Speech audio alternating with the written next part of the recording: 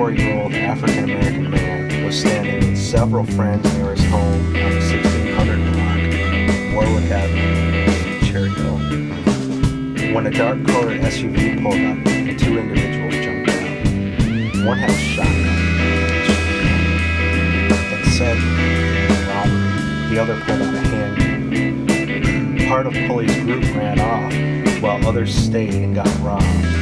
Pulley tried to run, was stopped by the individual with a shotgun. And after a brief struggle, the gun went off